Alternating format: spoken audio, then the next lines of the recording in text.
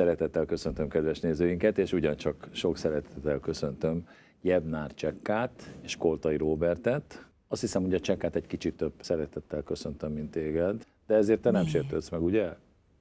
De. De. Hát akkor, akkor kezdjük egy névmagyarázattal, jó? Én még ilyen névről, hogy Csekka, így nem hallottam utónév szótárban, hogy, hogy mitől és hogyan lettél te Csekka. Az első szerepem volt Goldolni Csetepati Giorgiában című darabjában a Kekka szerepe, és rajtam ragadt. Olyan szinten, hogy egy olyan jó tíz év után már azt mondták nekem az akkori színházban, amikor dolgoztam, hogy ezt most már ezt a nevet fel kell venni, mert a szakmában csekkaként ismernek, és hát ugye tudjuk, hogy nem árt, ha azonosítani tudnak a nevünkkel, úgyhogy én ezt a nevet azóta használom nagy szeretettel. Neked a neveddel van bajom Csekka, idézőjelben természetesen. A Koltai művész úrnak pedig a bekonferálással kapcsolatban van bajom, a Koltai művész úr bekonferálásával. Kicsit izgulok, mert ő nagyon szigorú kritikus egyébként. Mégpedig azért, mert hosszú idő óta szeretném hozzátenni a nevéhez azt, hogy Kossuth Díjas színművész rendező. Kiakadályoz meg. Akkor hozzáteszem, hogy szeretettel köszöntöm Koltai Robert Kossuth Díjas színművész rendezőt, de nem biztos, hogy ettől még ott van ez a díj ahol a Kossuth Lajos ott az oszlop tetején áll. Nem tudom, hogy mennyiben változtatna ez rajtam, vagy a megítélésemen, vagy a közönséggel való kapcsolatomon. Azt hiszem most már jó ez így, hogy... De mindenki szomorkodik ezért, hogy te nem vagy Kossuth De hát díjas. egyéb díjakat meg nagyon sok mindent kaptam már. És a legfőbb díj az, hogy a közönség nem tudok olyan helyre menni az országból, hogy a közönség ne tüntet neki a legnagyobb rajongással olyan is előfordult már, hogy mögöttem állt a filmgyár büféjében egy Kossuth Díjas kollégám, nagyszerű kollégám, és kért két kefirt uh-huh. a büfésnőtől. És félek, a... hogy azt fogod mondani, amire én gondolok, de hát az hihetetlen, igen. Nem, csak annyit mondott neki, hogy uram, nyugalom, előbb a, előbb a művész urat. Mármint őt eltakarította a Kossuth Díjas. Ja, én azt hittem, hogy előbb a mű... Nem, arra mondom, hogy Aha. senki nem a díjakat nézi, és nyilván nem is számít ilyen szempontból. Nem, én azt hittem, hogy azt fogja mondani, hogy a koltai művész melletti pasinak adjunk két kefirt, úgyhogy én erre gondoltam. Nem, hát mondtam egy poént, utána te lassacskán átmagyaráztad, hogy már ne, ne tudjanak rajta nevetni. Ja, hogy ne tudjanak rajta hogy, nevetni. Hogy aki elmosolyodott volna, az most megijedt, hogy de, mi, micsoda? De, de pont azon dolgozom, hogy a tiédé fényesebb legyen. Hát ez, ez itt a csekkával ugye ti több darabban is egymásra találtatok, ez az apropója a történetnek, de én először a csekkát szeretném megtalálni, ugye most már tudjuk, hogy miért csekka. Egyébként mi az eredeti keresztneved, vagy azt ne áruljuk most el? Dehogy nem, büszkén viselem azt is, Gyebnár Ildikó. Ez nagyon szép név az Ildikó. Nevem. Elég érdekes módon kerültél erre a pályára, és aztán nagyon érdekes módon belekerültél egy országosan rendkívüli népszerűségnek örvendő sorozatban. Az az igazság, hogy a Robi úgy néz engem, hogy így a szavakat próbálom úgy egymás mellé tenni, hogy nehogy véletlenül hibázzak, mert ilyen a professzor már, úgy... Már mondta egy csomó értelmes mondat. Igen? Képzeld el, én vele játszom. ja, akkor az nem lehet könnyű. Szóval erről a kezdetről, meg pályára kerülésről azért mondjál nekünk néhány mondatot, légy szíves. Néhány mondatban nehéz, de megpróbálom nagyon röviden összefoglalni. Hogy a pályára hogy kerültem, azt nyilván megelőzte egy olyan gyermekkor, amikor én még a színházi közvetítéseken növök fel, és balett közvetítéseket nézek, és beleszeretek ebbe a dologba. Nyilván eleinte csak a táncot tudtam, mint művészeti formát megközelíteni. Táncoltam, néptáncoltam, versenytáncoltam, ahogy az lenni szokott. Aztán szépen bekerültem egy színházba, a Békés Csaba Jókai Színházba 18 évesen táncosként, viszont már ott az első darabban volt egy olyan helyzet, ahol, ahol én magam is meglepődtem azon, hogy mi történik. Ez egy rövid beugrás volt, a színésznőnek, a főszereplőnek elment a hangja, és én, mint táncos, akkor egy este felajánlottam, hogy én leplébe kellem őt, úgymond én éneklek helyette a takarásban, ha ez kivitelezhető. Ez megtörtént, tehát ez úgy volt, hogy nem is tudták a nézők, hogy te énekelsz, nem. ugye? Úgy, mint az ének az esőben ott is, hogy valaki Igen, helyett így énekelsz. pontosan, így van, így van, ez egyszer fordult elő. Én nekem az akkora, akkora sikerélmény volt, és olyan visszajelzéseket kaptam, hogy éreztem, hogy nem csak a táncról szól ez a vonzódás, hanem úgymond az egész színpadi létről. Egyet mondj meg, hogy ott, amikor vége lett ennek az éneknek, és siker lett, felcsattant a taps, akkor azért szívesen vetted volna, hogy kimész és meghajolhatsz, ugye? Nem is tudom, én ott akkor uh, ugyanolyan sokkot kaptam tulajdonképpen, mint a Igen. főszereplő hölgy, és nagyon-nagyon izgultam. Én emlékszem, hogy utána csak térdre rogytam ott a takarásba, és borzasztóan örültem, hogy túl vagyok rajta. Nem ez volt a lényeg igazából valóban. Ami kísérteties a dologban, hogy pont tíz évre rá ugyanezt a darabot játszottam a Városmajori színpadon, és ugyanez volt a helyzet. Elment a főszereplő hangja, és megint ez történt. A tokarásban. Na de közben azért színésznő lettél. Igen. Igen, ez a pici beugrás némi kereszt is az én kis pályámon, mert én több darabba ugrottam, mint amennyit lepróbálhattam, valahogy így alakult az élet. És akkor gyorsan nyilván az ember, amikor itt kedvet kap, akkor azt mondja, hogy hát akkor nem maradunk a színháznál, mert illik ezt a szakmát megtanulni, akkor gyorsan följöttem Budapestre, színiskoláról színiskolára, majd a Vaz Zoltán Ivánnal dolgoztam nagyon sokáig. Ugye neked van egy barátok közt előtti, meg egy barátok közt utáni korszakod, illetve hát barátok köztel együtti korszakod. Robi, te még barátok közt előttről ismered a csekkát jóval, Igen. és Amíg- már akkor volt közöttök egymáshoz. Hát rendezőnek Szakmai. és szakmai közünk volt, Szakmai. és én rögtön felfigyeltem rá, bár, bár el- elég nehéz élethelyzetben volt akkor, amikor találkoztunk. A Körúti Színház épp a, a Doktor úr című darab bemutatójára készült, és napok voltak hátra, tíz nap, talán két Á, hét nem, maximum. Öt. Öt nap? Öt nap volt. Karácsony előtt, 20 És volt. azt Galambos Zoltán igazgatóval együtt rendeztük, és akkor a Görben óra felmondott, tehát, vagy, tehát kiszállt akkor a produkcióból, és úgy volt, hogy nem lesz bemutató. És ráadásul még egy szereplő, egy másik főszereplő is kilépett, vagy Ez vagy- most így Tehát az a nagyon jó lényeg, hogy fényt vett a abba, darab. igen, igen, hogy, igen, hogy tulajdonképpen mindenki elment, és valahogy feldolgoztuk És a a maradékot. csekka. Igen, de, nem, de én ezt úgy, várja, várja, csak én ezt úgy próbáltam átfordítani, hogy ebbe is beugrottál, és De ez is egy én? hősi Hát ez egy óriási beugrás volt, mert Igen. Abszolút főszereplő, a sárkány ügyvédnél. Igen. És nekem meg azért volt nagyon nehéz, A mert sárkány ügyvéd a doktor úr, szóval Igen, csak a doktor hozzá. úr. Igen. persze az Akit a igazi Barát Attila főszereplő, játszott, tehát a legfőbb játszott. főszereplő az a Puzsér, A betörő. a betörő, és az, azt játszanom is kellett, Igen. és rendezni. Tehát mint Tehát ez rendező nagyon- magadra osztottad a legfőbb szerepet. Nem, Nem nem. Engem a Galambos Zoltán kért meg. Igen? Úgy volt, hogy ő rendezi, de aztán neki akkor a színház alapítással volt elfoglalva, és megkért, hogy rendezzem is. Uh-huh. És ehhez képest az utolsó öt napban nem csak a Puzsér szerepemet kellett volna Megtanulni. tökéletesre vinni, hanem a. Csekkát és a Cvetko Sándor nevű kiváló színész kollégánkat, aki a Csató, Csató Fogalmazom. Rendőr. fogalmazó urat, rendőrt rendőr, játsza, igen, szuper szerep, és csodálatosan játszott benne. Még mindig megy a darab egyébként, száz fölött van már az előadás szám. Azt még áruljuk el, hogy a csatórendőr az is hajt a sárkány feleségére, ugye? Elsősorban az hajt rá. Igen. A férje kevésbé, az inkább a, a világ hírbe hajt.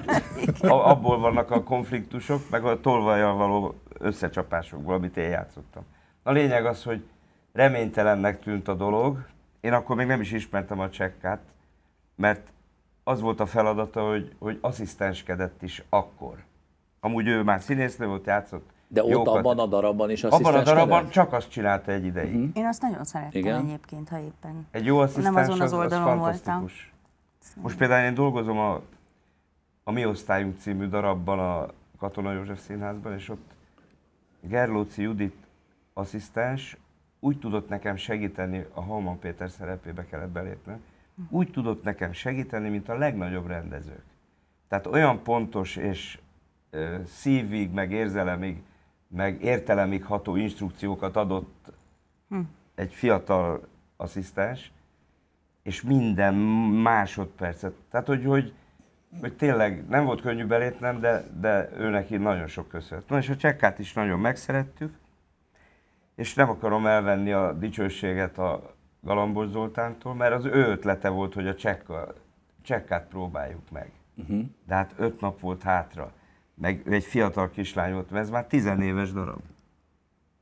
Most nem Aranyos, akarom, most se, vagy aggast, most se vagy aggastyán, de, de, de egy fiatal, bájos kislány volt, akinek ilyen nagycsás, nagycsas asszonyos szerepe még nem volt eddig, és ráadásul óriás szerep. És tulajdonképpen akkor majdnem összeköltöztünk olyan szempontból, hogy járta Szenteste, szövegösszemondót tartottunk a- az ő lakásán. Igen, én beszélgettem erről a csekával, és mondta, hogy hihetetlen az az Ő nem így mesélte, hogy nem, nem, így nem hogy hihetetlen az az alázatosság, ami, ami, ami benned van a színpad, a színház iránt. Ez Robi komolyan, tehát ezt én neki sem mondtam soha, de az, hogy Szenteste is megjelent az én kis albérletemben, tudta, hogy nem tudok hazautazni, tudta, hogy csak ezt tanulom, és ott volt és segített. Nem csak szakmailag tanultam azt Ez egy örök, akkor. örök barátság De december Így van. 30-án, december 30-án volt a bemutató.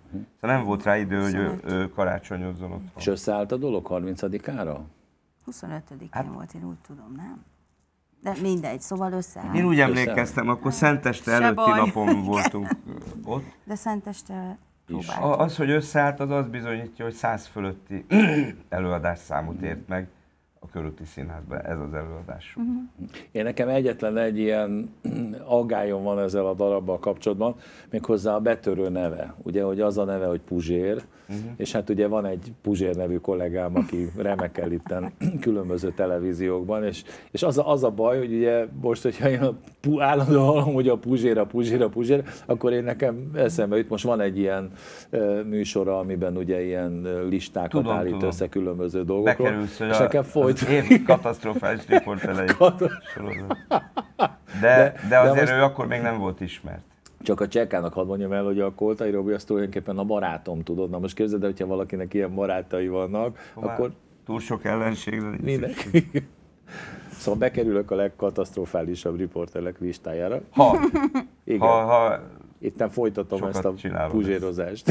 De, de én, vegyük úgy, hogy ez teljesen pozitív meglátás egyébként. Na most ez a puzsér dolog, ez azért nagyon érdekes, ugye, mert ugye az a címe, hogy doktor úr, de valójában erről a betörőről szól, hiszen ő Mindenről. tesz vesz mindent ebben az nagyon egészben. nagy íróról beszélünk, a Molnár Ferencről. Imádod a szerepet, ugye? Hát imádtam volna. Sajnos a próbaidőszak azért rányomja a, az imádatra a bélyegét. Ha lett volna elég időnk és elég energiánk csak a szereppel foglalkozni, csak a, a premierre, de hát ott elég nagy dolgokat kellett kivédeni, és ez már bizony így maradt. Nagyon nagy a siker, de nálam már nem a siker jelenti csak a, a végeredménynek a, az osztályzását, hanem, hanem az, hogy, hogy, hogy mennyire tudtunk belemászni a dologba, és mennyire, mennyire igazi, és mennyire fantasztikus az előadás. Szerintem nagyon helyes előadás lett a doktor úr. Nagyon jók a kollégák. Én végig killottam benne. Annyi sok, annyi sok, a siker az megvan. Ezt akartam mondani, hogy ö, ezt te éled meg. De a Tehát végig ez benne, az mit le. jelent, hogy amióta megy, tehát Nehezebb. 100 Nehezebben kiló- élem Amióta meg, megy, igen. mindig kicsit félek, mert Igen, ez, jobban tart tőle, mint ez nem úgy van, ez nem úgy van, hogy, hogy van idő ezt próbálni. Ez egy Mhm. magánszínház, amelyik hol egy hónapban egyet játszik belőle, maximum kettőt, aztán két hónap kimarad, és akkor egyszer hármat. De nin- nincs az, mint hogy a balfácánt vacsorára 18 éve játszuk a Kernel. Ha egy gombot megnyomnak rajta, én már mond- mondom, és nyáron se kell átnéznem a szöveget, hanem szabad vegyértékek vannak, és szabad improvizációs pillanatok, és, és, és minden repül.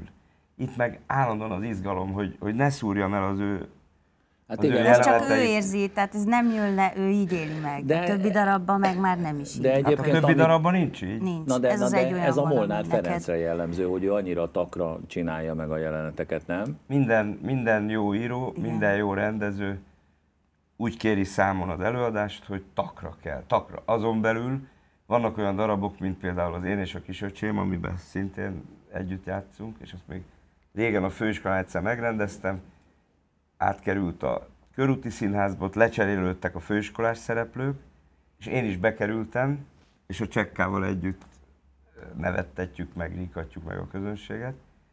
Takra, ha kell, de a rögtönzés is belefér. Egy Abban adott igen. kereten belül, de csak egy adott kereten belül. És a Meg doktor a- úrban nem? Oda nem fér. A doktor úrban nem, nem igen. A nem igen. A doktor úrban a próbákon néha praktikus okokból kicsit átírtam mondjuk a saját szerepemet. Egyszerűsítettem, hogy, hogy ne, ne robbanjon szét a fejem. De mondom, senki nem veszi észre. De elég, hogy én tudom, hogy attól féltem egy kicsit, vagy félek. A többi darabban meg lubickolok, meg lubickolunk. Így van.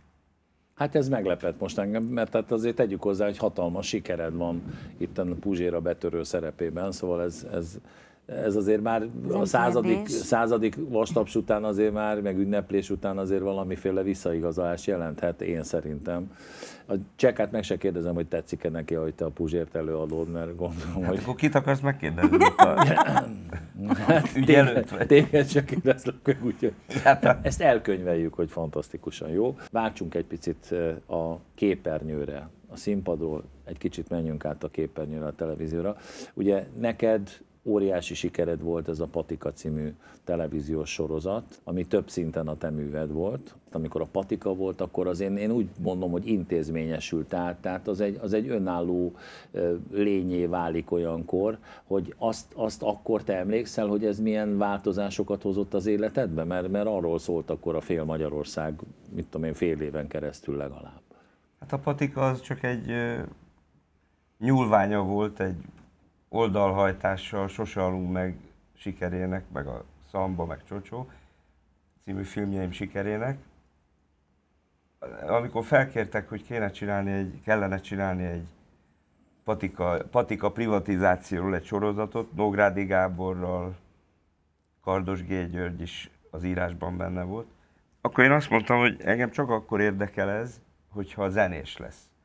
Én addigra már beleszerettem Dés Lászlóba, természetesen, mint zenészbe, a Sose alunk meg után, és mint, mint fantasztikus dramaturgiai adottsággal megáldott emberbe, és azt mondtam, hogy csak akkor csinálnám meg, hogyha egy zenekarról szólna. Hiába patika, és akkor belekerült a Déslaci, az Old Gold, ez a patikus az Old Gold, igen. hát mi, mi igen. igen.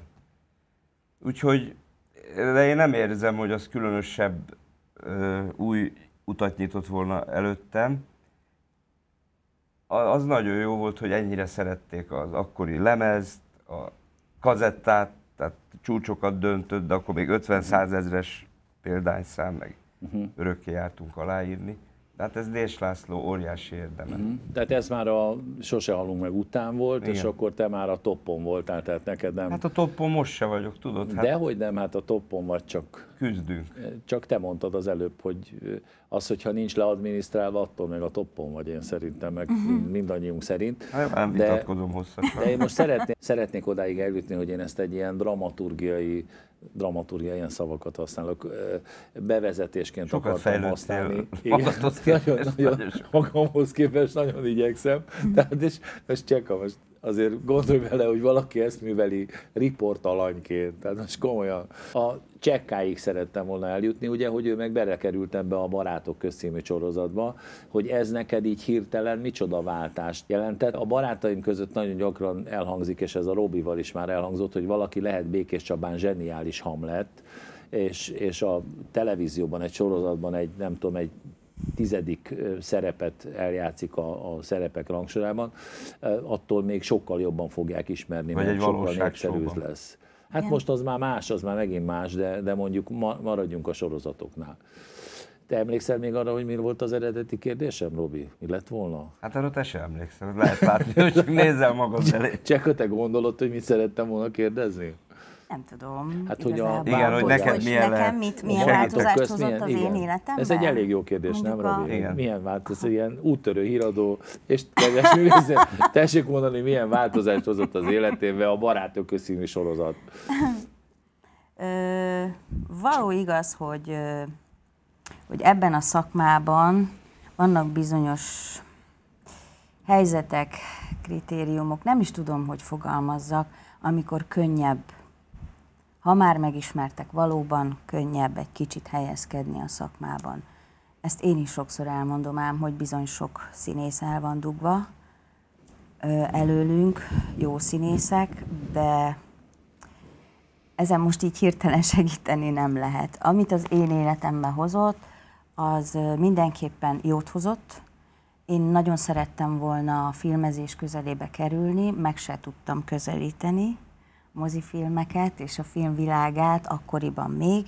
Én már akkor jelentkeztem a sorozatba, még akkor nem is tudtuk, hogy sorozat indul-e, vagy, vagy napi sorozat, vagy heti sorozat, vagy, vagy csak mozifilm, amikor indult az egész és talán én voltam a második ember, akit regisztráltak. Eltelt jó tíz év, és én bementem egy ilyen frissítésre, és engem akkor hívtak Tehát be. tíz évig nem hívtak? Igen, nem, Tíz nem, évig, tehát a kalamárék betették, hogy gyebnál csak és nem. Hát akkor még igen, valószínűleg egy tíz év múlva értem meg erre a szerepre, Mhm. amit én nagyon szeretek, és én rengeteget tanultam, egészen más műfaj.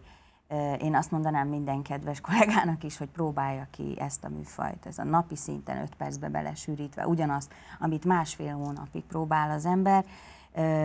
Hihetetlen dolgokat Kevés tanultam, meg ott is. fel ezeket? Nyilván, nyilván, erre nincs idő arra, ami, amire a színházban idő van. Ezt az abszolút bulvár sorozatot, tehát ezt a szappan operát, ugye, ezt két olyan filosz srác csinálja, mint a Rozgonyi Ádám meg az Ardai Tamás többek között. Náluk ilyen szürreálisabban gondolkodó produkciókat létrehozó emberek, jó, nem, nem tudom kimondani, ilyen. úgy nézel, hogy nem tudom. Jó sikerült. De létrehozni, nem? Én, én, az, én csodálkoztam, hogy milyen jól fogalmaztál. Igen, hogy fejlődők. na, na Csekka, azt azért tudjad, hogy az első riportot a Sose halunk meg, ugye, az volt ennek a filmnek a címe, azt, azt, mi, azt az, mi csináltuk a televízióban, abban a műsorban, és nagyon aranyos volt a Robi egyébként velem, szóval... Akkor. Akkor még. Akkor még igen, akkor még, igen, akkor még nem tudta. Tehát tíz évig pihentették az aktádat, és akkor tíz év után behívtak, és akkor te lettél ez a Gizi, ugye? Igen, igen. Ez egy kis bizonytalanság volt bennem, hogy Gizie vagy valami más neved van, de akkor a Gizella, és úgy ez Gizella, mert úgy mondtad, hogy Gizella. Bokros Gizella. Akkor súgtál nekem botos, botos Gizella. Bokros Gizella, most már Novák Gizella, amióta Bokros. férhez ment. Férhez mentél. Igen. A Novák, Novák. Lacihoz. Lacihoz, igen. Hát Igen. most csak szeretném itt azért, igen. És ti itt közértesek is voltatok ott többek közt. Igen. Úgyhogy, de nem vizsgázom tovább ebből a sorozatból. Eh, Szóval ez nagyon nagy ö, változást jelentett egyébként? Tehát, hogy elkezdtek hívni téged máshova is többet, vagy pedig, vagy pedig az maradt ugyanolyan, mint előtte?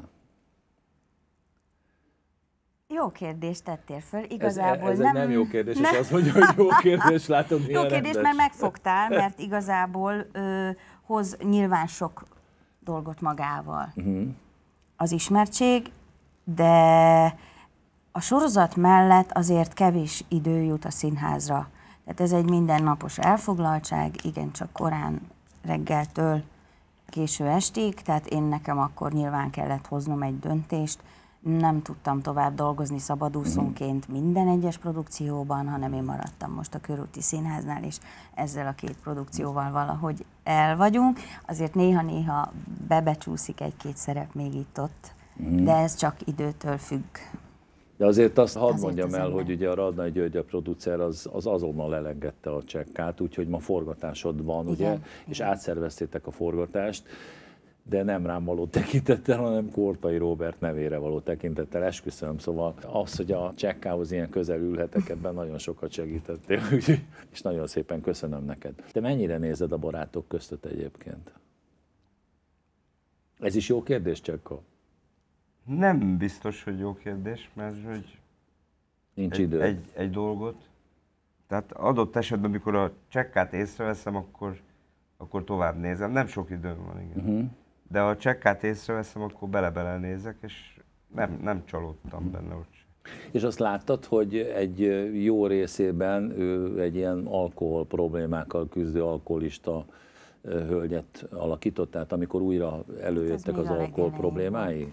Uh-huh. Én ilyeneket tudok, és nagyon kíváncsi vagyok arra, hogy ezt, ezt, hogy ilyen fura helyzet van, meg hogy ilyen e, alkoholista nőt kell alakítanod, hát te, aki egy ilyen szép fiatal nő vagy, hát nem egy álomszerep, na, szerintem. Szerintem meg az. Igen? Én vérszemet kaptam. Én amikor elolvastam a ka- karakter jellemzést, akkor én annyira boldog voltam. Olyan nagy feladatot találtam benne. Nem is volt még ilyen szerepem. Ennyire gyarló, ennyire úgymond negatív és ilyen függőségekkel küzdő nőben tehát, én tehát még nem, neked az nem jó, hogy egy, egy nem, vele. tehát mert ugye le vagy rontva idézőjelben oda, egy nem túl szép, nem túl okos, deviáns nőt alakít, így az van, ezt egy, ezt egy álomszerepnek tartod. Igen, abszolút, abszolút, hogyne. Nagyon nagy feladat volt. Van egy stílus annak, ahogy a napi sorozatot játsz az ember, és abba egy ennyire szélsőséges karaktert besűríteni, az igen jó feladat, én azt gondolom. Én imádom.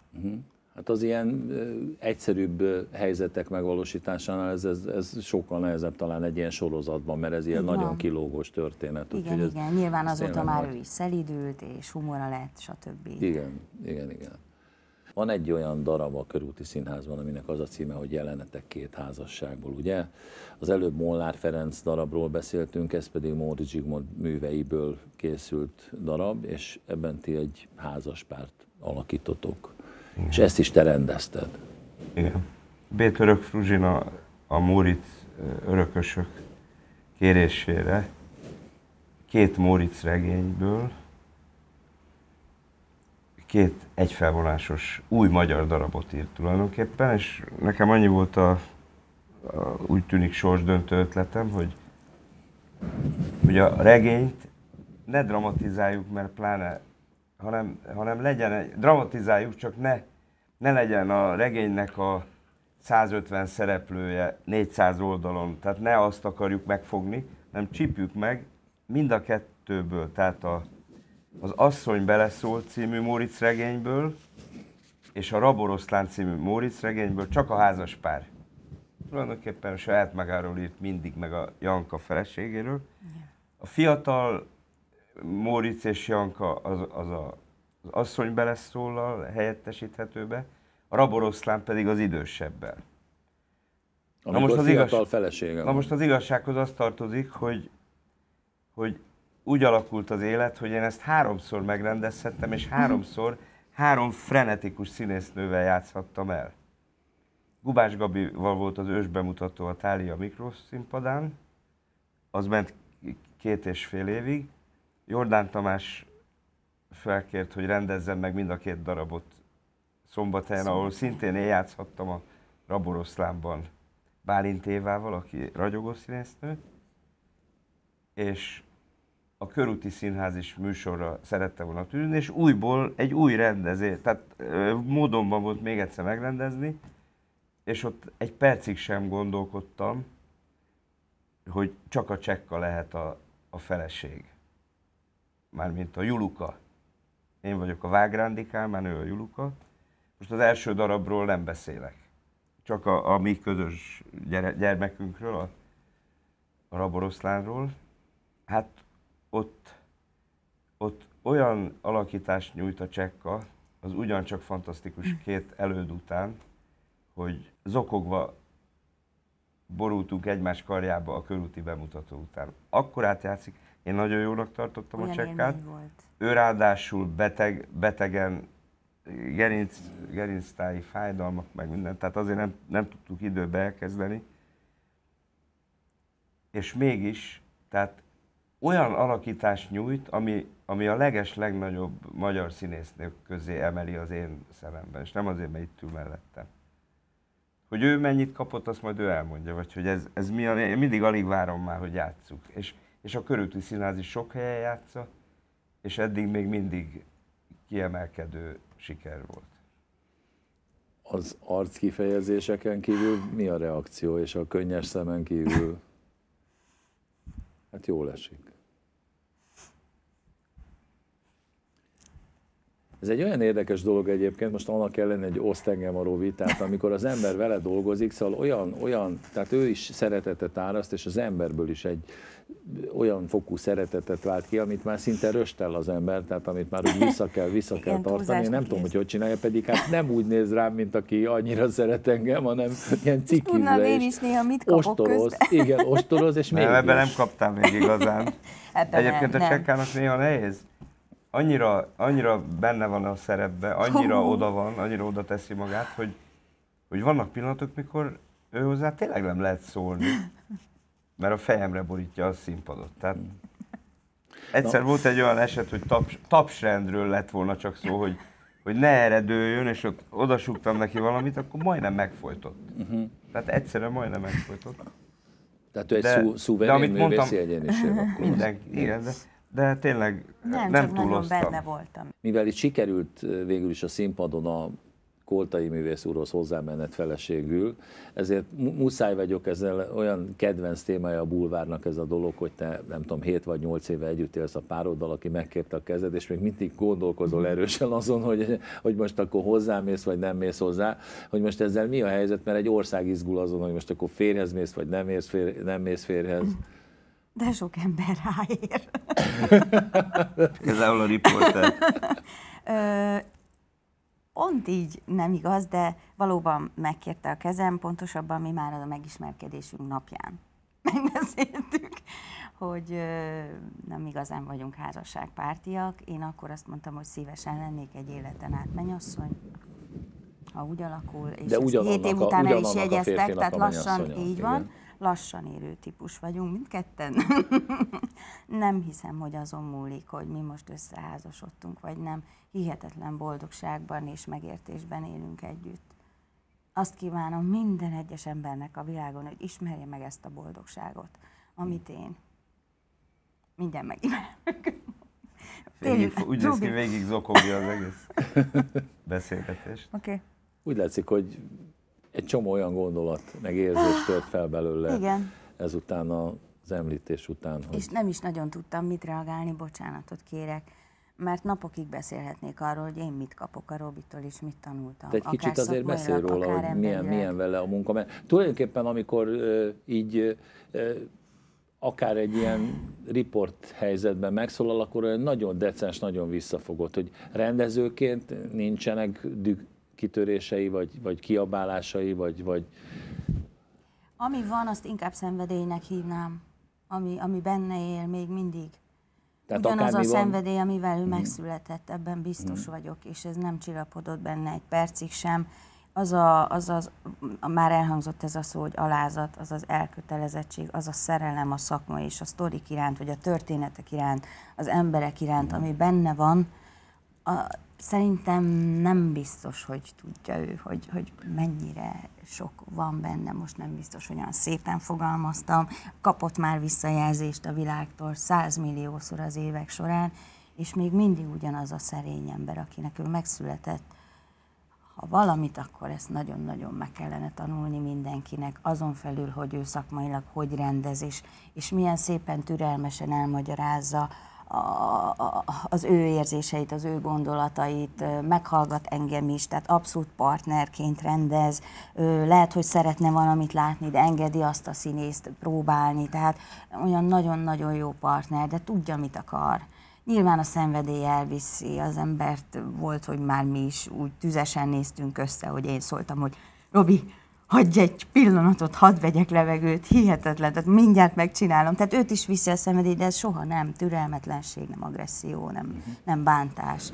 Csupa szeretettel csinál mindent. Beszéltem nagyobbakkal, aki most korban, tehát ilyen 50 fölöttiekkel, meg, meg 30 körüliekkel, akiket a Robi rendezett, és az az érdekes, hogy egy, egy ponton egy nagyon érdekes véleményük volt, ami egyébként az én véleményem is, hogy akárhogy viselkedik a Robi, a szeretetet e, e, érzi áradni, e, áradni belőle az ember. Tehát, Igen. hogy árad belőle a szeretet, ezt érzi az ember, ami, ami tehát az nem tanulható, meg az, az nem, nem pótolható. Az, az jön. Az... Ez nagyon jó megfogalmazás volt, hát túlzó természetesen a csekka, de... Nagyon dicsérjük De, de, de az jól esett, hogy, jó? hogy tényleg az alázat szó a történet, a, a sztori, és talán akkor hozzátesszük, és ebben mind a kettőnkben megvan a közönség iránt.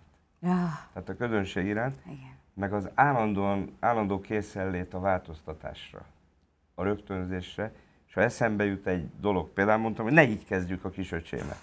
És mondom a csekkának, nem írom le, menj ki, improvizáljál. És kimegy és improvizál, mit, eleinte nagyon... megijed, majdnem beleőrül. Dühös vagyok. Dühös, és utána meg már következő előadáson meg már repül a dolog.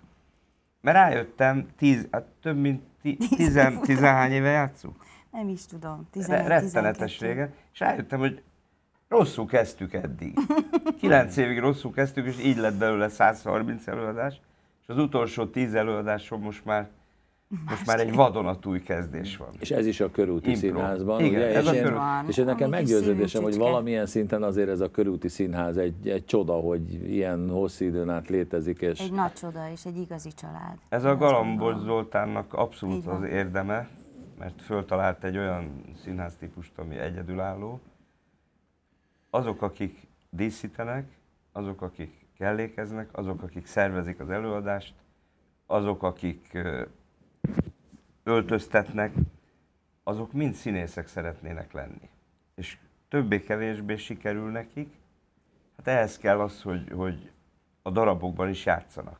Ami dupla, dupla fizikai erőkifejtés. Hát persze, mert vezeti, mondjuk vezeti a, az egyik fiú a, a kamiont, igen, a díszlettel, és közben főszerepet játszik. Én egy picit helyesbítenék, azért már Jó. sok olyan van köztünk, aki már évek óta tényleg nagy szerepek. Na de ezt akarom mondani, csillog. hogy közben kapják a, a És szerepeket. közben ezeket ne, én is például nagyon szeretem, tehát ha én mellette kapok egy olyan feladatot, hogy most ebben a darabban nem tudom, talál ki a kellékeket, akkor nagyon szívesen. Tehát te Ezért mondom, ugyanúgy egy benne maradtál ebben a színház. csapatban. Igyekszem nagyon. Nyilván nem tudok én már annyi feladatot bevállalni, de ha csak lehet, igen, és, és ettől érezzük igazán magunkénak. Tehát van nyilván olyan, aki megcsinálja a díszletet, megtervezi, legyártja, de egy picit mindig hozzányúlunk mi is, hogy úgy a magunkénak érezhessük. És ez egy, ez egy nagyon jól működő dolog így, hogy mindenki bevállal valami pluszt, igazán a magáénak érezheti. De tulajdonképpen én, én nekem egyetlen egy problémám van a körúti színházzal, hogy eh, annyi a körúti színház van, Eh, igen, annyi körúti színház van, és rád, hát igen, ezt most te mondtad, én nem akartam ezt mondani, hogy ráadásul nem is pontosan a körúton Hát van. ennek a bázis. De ott Hát voltunk, az- így van. Ott Igen. volt a József körúton Igen, volt, igen. aztán mikor a Gutenberg művelődési házban egy szélvihar ledöntötte a kéményt, akkor mondták, hogy három hét. Három hét és újból elkészül. És ez volt tizenvalahány éve. Hát mondjuk Amikor a- 8-9 legalább. Ki- Kilenc, igen. És az megszűnt, viszont járjuk az országot. Erzsébet ligeten van a bázisunk, és vendégszereplünk. És így jó. És nagyon ügyesek a szervezésben is, mert rettenetesen sok előadás jön sok. Rengeteg. Sok filmes sikeres rendezőként. Milyen film terveid vannak? Mit várhatunk még tőled? Hát nincs mit mondanom, mert volt egy-két próbálkozás, például Ámos Miklóssal együtt, és már a legelső szűrőn sem mentünk át. Hogy ez pontosan miért van, mert azért Pedig hát te a főnökkel csináltál, mármint a Vajnával, te csináltál közösen filmet. nem tudom, nem, A nem miniszter tudok félre lépett, Igen. ugye? Azt vele csináltad. De én erre nem tudok mit mondani. Tehát van egy zsűri, Mhm. és én helyesnek tartom, hogy nincs protekció, mert ez egy olyan pálya, a miénk, ahol a protekcióról hamar lehull a, a függöny, amikor felmegy a függöny. Mhm. mert mert aki, aki csak úgy benyomnak, tehát itt, itt nem lehet, vagy pedig fölmegy a, föl, leoltják a villanyt, a, és vetíteni kezdenek a, a moziban. Itt nincs protekció, úgy ítélték meg, mondjuk egy ilyen első, mert itt több futam van az új dolog szerint, tehát a forgatókönyv alakításának.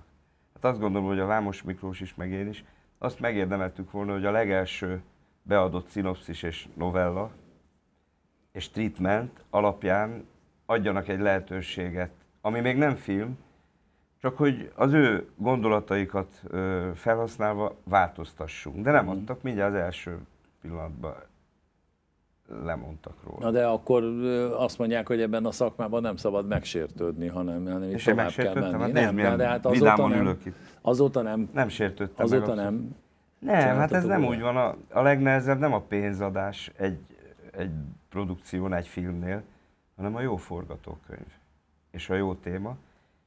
Vannak gondolataim, de hát gondolatokról most kár beszélgetni, mert az Persze, még nagyon persze, messze persze, van a igen. filmtől, viszont ami a, ami a személyimben van az évszám, amikor születtem, az bármennyire röpködök, mert tényleg színpadon nagyon-nagyon jól érzem magam. De, de az egy kicsit elgondolkodtató, hogy már ennyi idős vagyok. Tehát, Uh-huh. és egy filmnek az átfutása két-három év Jaj, minimum. Robi. Mi? Hát így van. Hát ez így van. De nem, nem egy elkeseredett ember vagyok, mert annyi mindent csinálok, színházi dolgokat is, és színházi terveim Hát is de most, vannak. most szombaton, vasárnap volt előadásod, önálló ested, ugye? Igen. Akkor ö, most lent vagy a karavántáborban, ugye? Igen. Balatonon. Igen. Ott tanítasz, azért annyira nem vagy pihenő állapotban. Hát ez egy nagyszerű kezdeményezés, hatalmas ötlet. Évek óta megy a karaván színjátszó tanfolyam, színjátszó alapítvány, roma és magyar gyerekek és fiatalok bevonásával. Én eddig nem vettem részt.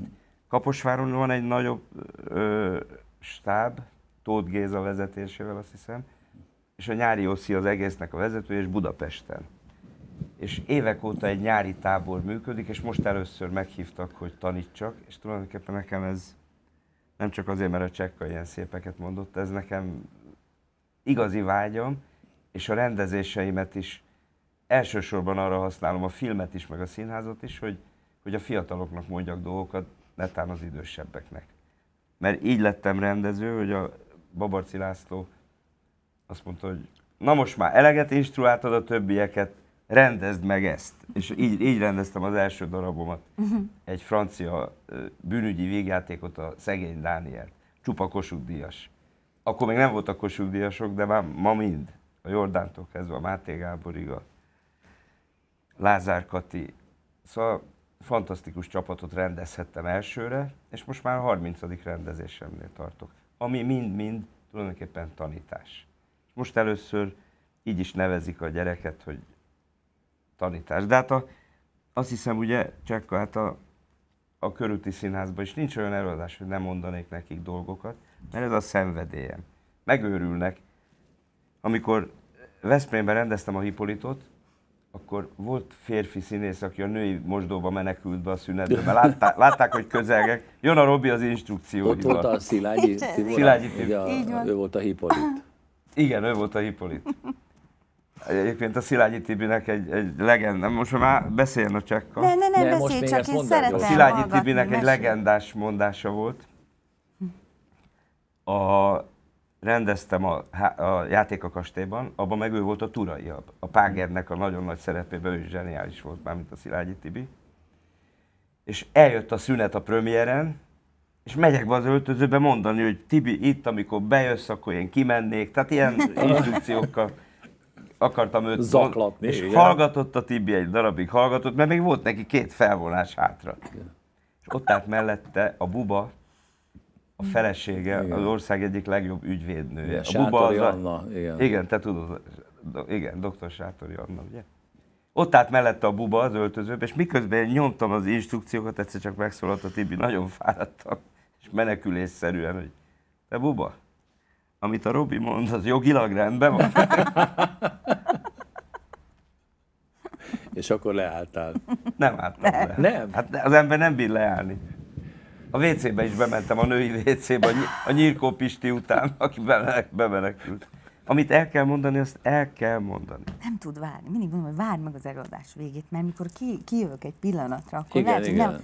De, de akkor Ott kell, közben. abban a pillanatban. Hát mert, mert akkor jobban elfelejti meg. rögzítik, hogy, Na de nem hogy lehet mi az, hogy volt a akkor meg ideges lesz, vagy, vagy felmegy az agyvize, Ez vagy nem egy valami? nyugodt pálya. Melletted akkor ezek szerint biztosan nem. Bírni Az életműved, ilyen, ilyen, ilyen szó eszedbe jut, hogy életmű? Nem, Filmek, nem, nem ezzel ébredekkelek.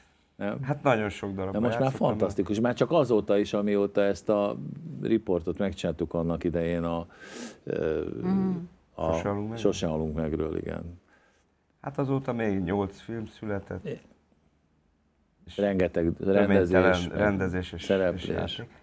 Nekem most a, mostanában mi igazán ilyen megrázóan új az a, hogy bekerültem a Katona József Színház kamrájába, a Mi Osztályunk című darabban. csodába. Sőt, ráadásul úgy alakult, hogy most volt a TV felvétel öt nappal ezelőtt. Azért azt mondd el a kedves nézőknek, hogy kiket láthatunk a mi osztályunkban. Hát, Máté Gábor rendezte, Bán János, Szacsvai László,